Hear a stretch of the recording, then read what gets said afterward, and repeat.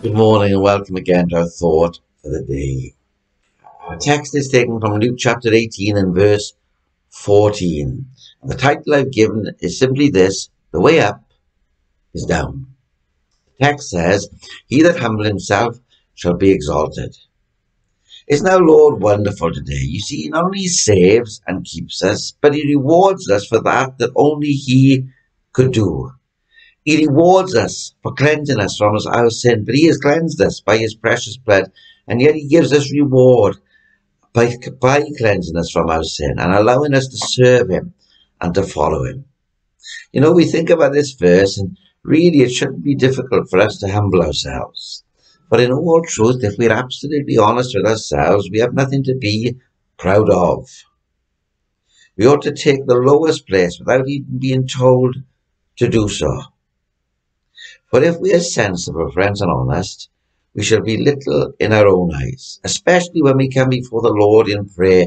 We should shrink to nothing before the God of all the universe, the God who said, Let there be, and light came into being. The God who said, Let there be, and it happened. This is the God that is our Saviour, and with us this very day. Or to humble ourselves before such a great God should be easy. For we have no merit of our own, but our appeal must always be to the mercy of God. We need to cry afresh, God be merciful to me, a sinner. And when we realize and recognize what He has saved us from and what He has done for us and what He has made us, He has made, he has made us kings and priests in Him, when he, we realize that what is waiting for us in glory, then we will serve Him with every fibre of our being.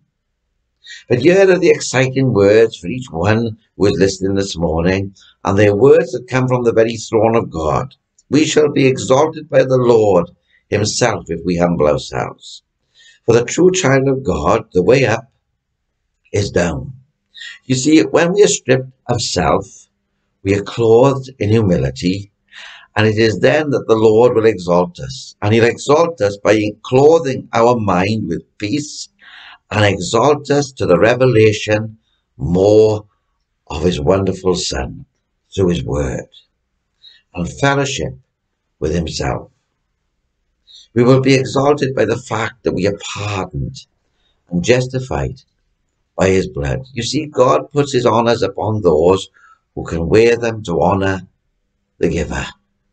How often have I heard students in our church say, when their graduation day approaches, that they need to give all their thanks to their parents who have supplied everything that they've needed to be able to have a graduation day and to receive their diplomas and to go away thrilled with what they've received. Can I tell you, friends, that we have a graduation day coming very soon. And it is when we are taken from this earth into the very presence of God. And there's only one that we can thank, and that's our Heavenly Father for all that He has done. And we want to give Him the praise and the glory. You see, He will make you useful. And He will give you acceptance and influence to those who will not be puffed up.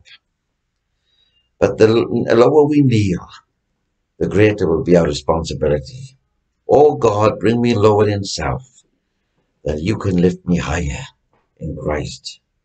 For your glory, help me always to remember that the way to rise in Christ is to sink in self.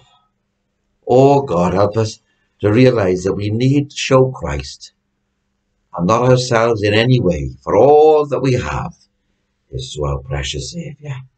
God bless you. I look forward to speaking with you again tomorrow morning.